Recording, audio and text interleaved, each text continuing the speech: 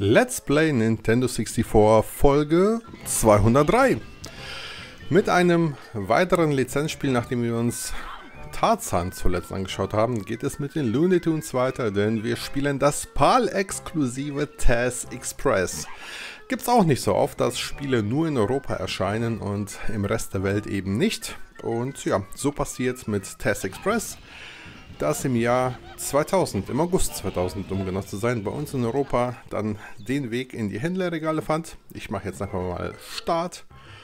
Ihr seht, ist auf Deutsch gehalten, zumindest der Text. Ich weiß gar nicht, ob das Spiel Sprachausgabe hat. So, ähm, wir spielen einfach mal ein das Spiel. Und dann schauen wir uns mal an, wie das Ganze so aussieht. Also, She-Devil war es leid, dass Tess den ganzen Tag zu Hause rumhing. Also besorgte sie ihm einen Job als Botenjunge. Okay. Also wir haben eine Karte, eine Levelkarte, wie zu guten alten Super Nintendo-Zeiten. So, und Tess muss Pakete ausliefern. Es ist quasi eine Art Paperboy. Nein, Quatsch. Tess als Hürte, als Hinterwäldler. Okay. Level 1, Abschnitt 1. So, liefere dein Paket ab. Suche im Zweifelsfall ein Schild. Ihr seht, wir haben eine relativ eigenwillige Kameraansicht, zumindest für N64-Verhältnisse, denn damals waren das ja meistens dreidimensionale Spiele. Finde den Ausgang, aber lass die Kiste nicht zurück. Hier gibt es eine Menge zu entdecken, finde es heraus. Ähm, aber dass Spiele von oben so dargestellt wurden, das gab es nicht oft. Ich muss jetzt mal kurz gucken, was Test so alles kann. Also springen kann ich. Pakete aufheben kann ich. Die Früchte nützen mir gerade irgendwie noch nichts. Ich kann zumindest diese Symbole hier einsammeln. Und dann muss ich mal gucken, wo ich das Paket abliefere. Vielleicht hier? Nein. Nein.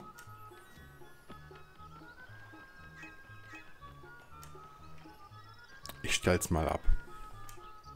Also ich habe das Spiel nie so richtig viel gespielt. Ich fand es damals schon relativ seltsam und langweilig, wenn ich ehrlich bin.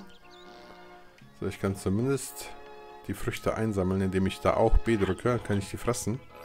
Kam von Z2, glaube ich, hieß das Studio, die auch Vetrix entwickelt hatten. Kennt ihr vielleicht, da kommen wir noch zu. Das ist ein recht cooles Puzzlespiel. Gab es damals auf der Dreamcast und auf dem N64.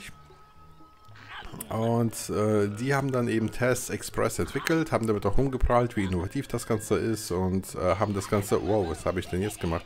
Haben das Ganze zuerst, jetzt kann ich die ganze Welt zerpflügen, auf dem Nintendo 64 in Europa veröffentlicht und haben dann aber, bevor sie es auch ähm, in den USA in den Start bringen wollten, gemerkt, oh, die, ähm, das Feedback für, zum Spiel ist aber gar nicht so cool, denn das Spiel ist relativ durchwachsen bewertet worden damals sodass sie sich eben dann doch dagegen entschieden haben, das zu veröffentlichen. Und so blieb dann eben TES ein Exklusivtitel in Europa. Das Witzige ist, dass ich hier die Umgebung gerade komplett zerlegen kann. Es liegt daran, dass Test Express die Vetrix Engine nutzt und wer Vetrix einmal gespielt hat, der wird sich erinnern, dass man dort auch so das, das Terrain so ein bisschen verändern konnte. Hoppala, das ist hier nicht viel anders. Jetzt ist er hier gerade untergegangen. Man merke, Test kann nicht schwimmen. Auch das ist gut zu wissen. So, jetzt gucken wir mal, was hier auf dem Schild steht. Wie das funktioniert, kannst du dir bestimmt selbst denken. Was denn funktioniert? Muss ich da drauf springen? Ja. Okay. Ah, ich muss wahrscheinlich da den Stein hinstellen. Junge. So. Okay, und das transportiert mich jetzt irgendwie durch das gesamte Level. Warum auch immer. Na gut. So. Jetzt ist hier ein nächstes Schild. Die Kiste hier ist eine Zeit lang sicher. Diese Platte wird die Kiste schützen. Okay, leider habe ich keine Kiste. ich habe die hinten irgendwo abgestellt. Und weiß auch gar nicht mehr, wie ich mich... Oh Gott, wie ich mich äh, drehe. Und wieder untergegangen. Leute, irgendwie finde ich dieses Spiel immer noch fürchterlich. Ich habe es damals schon, wie gesagt, kurz mal angespielt, ähm, als ich es mir in die Sammlung geholt habe, weil ich mich eigentlich über ein 3D Jump'n'Run mit Tess gefreut habe. Zumal es ein richtig, richtig gutes 3D Jump'n'Run auf dem Gamecube gibt, auch mit Tess, was ich damals sehr gefeiert habe.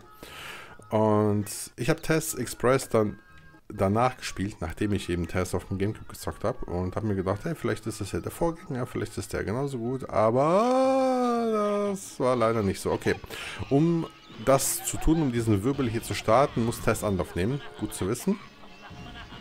Dann kann er hier... Oh, schon wieder, ey, untergegangen. Also Kollisionsumfrage ist nicht die beste.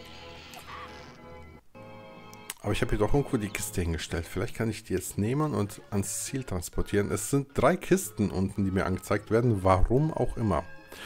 So, vielleicht muss ich jetzt hier gucken, dass ich die Kiste weiter transportiert bekomme. Wo auch immer ich die hinstellen muss. Ich habe keine Ahnung. Wahrscheinlich ist... Das ist aber jetzt nicht das Ziel, ne? Dass ich die jetzt hier hinstelle. Ne. Da passiert nichts. Hätte ja sein können, wir sind immerhin im Looney Tunes Universum, dass die Tür irgendwie aufgeht und sich eine die Kiste schnappt. Aber nein, ist nicht so. Ja, ist klar. Ich habe keinen Schimmer, was ich hier tun muss. Und wie ihr sicherlich merkt... Okay. Ich bin einfach in die Tür reingegangen. So viel zu Looney Tunes Universum. Level komplett. Ich habe keinen Schimmer, was hier das Ziel war. Ich habe auch keine Ahnung, ob das jetzt richtig war. Ich habe zumindest ein Paket dabei gehabt. Bringe deine Kiste zum Berggipfel, aber nimm dich vor Biki in Acht, damit er sie nicht stiehlt. Aha. Okay, ich habe immer noch die Kiste. Und wir sind im zweiten Level. Ich hätte nicht gedacht, dass ich so weit komme in diesem Video. Denn äh, das hier ist schon komplett und das ist Neuland für mich. Und auch hier, ne? Dieses Schalter. Okay. Kiste kaputt. Was ist das für eine Feder? Also irgendwie erklärt mir das Spiel zu wenig. Ich weiß, wir werden heute schon bevormundet mit den ganzen Tutorials, aber so ein paar mehr Infos wären ganz nice gewesen. Vielleicht ist das Biki, vor dem ich mich in Acht nehmen müsste. Ich laufe mal weiter. Wobei, glaube ich, ein Fehler war, die Kiste da stehen zu lassen. Ich versuche den mal mit dem Wirbelsturm hier wegzuboxen. Na, funktioniert nicht. Er springt einfach drüber. Und ist nicht mal betäubt. So, die Kiste ist jetzt neben mir aufgetaucht und sieht noch schlimmer aus als vorhin. Ich denke mal, das ist so eine Art Energie. Ich habe drei Kisten. Ähm, was so eine Art drei Versuche ist wahrscheinlich, das Paket zu transportieren. Und wenn ich diese Kiste verliere, weil ich getroffen werde oder oder, nimmt die Schaden. Und wenn die zu mitgenommen ist, dann ist das Spiel wahrscheinlich vorbei. So. Also könnte ich mir vorstellen. Wir laufen mal weiter. Stellen wir mal ab, lesen mal, was hier auf dem Schild steht. Manchmal ändert sich die Umgebung durch einen Sprung auf einen Schalter. Aha.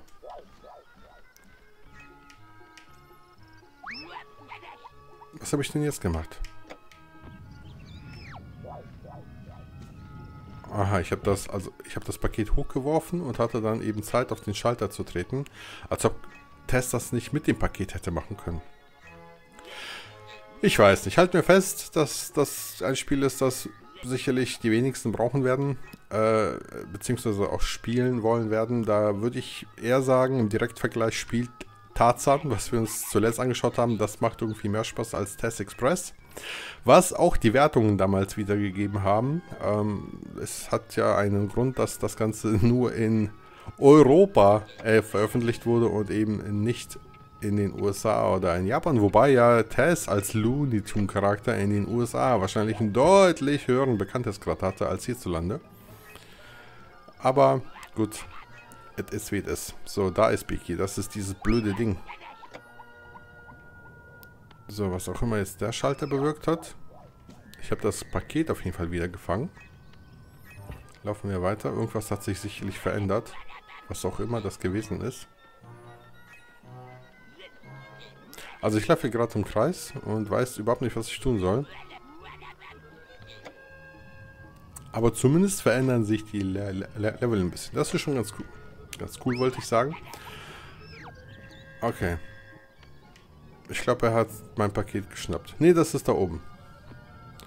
Lol, wie soll ich das denn jetzt bitte nehmen? Ah, okay. Kann ich das nicht... Ah, wartet mal, ich habe doch da hinten irgendwo ein... Hatte ich da hinten nicht irgendwo einen Stein gesehen oder so? Ich habe das Paket in, äh, allein gelassen, in der Hoffnung, dass das jetzt nicht gefressen wird oder geklaut wird. Aber ich finde den Stein noch nicht. Ihr Lieben, das ist Test Express. Ich glaube, weiter brauche ich das nicht spielen. Es ist leider kein sonderlich gutes Spiel.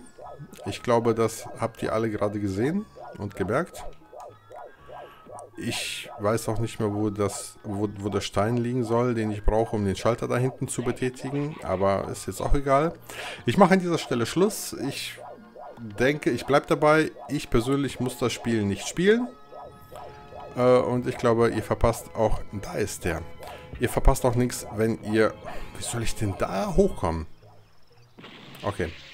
Das erste Paket ist hinüber. Oh Gott, und ich muss komplett an den Start gehen, um das andere zu holen. Nee, das mache ich nicht. Genug ist genug. Ähm, aber da habe ich keinen Bock drauf. Ach, jetzt habe ich es genommen. Ah, toll. Okay. Also.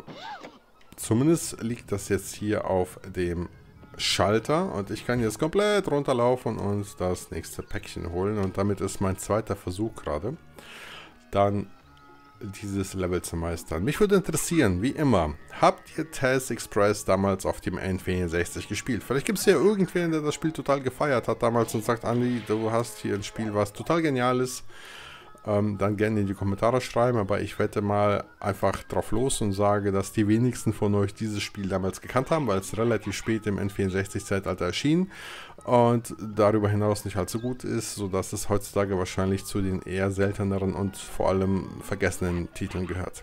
Das war's an dieser Stelle aber erstmal von mir. Vielen Dank, dass ihr reingeschaut habt und ja, wir sehen uns das nächste Mal wieder und dann geht es hier in der Videoreihe weiter mit Tetris Sphere und darauf freue ich mich sehr, denn ich finde Tetris Sphere eines der interessantesten Spiele auf der Konsole. Also, bis dahin, macht's gut, adios, tschüss, euer Andi.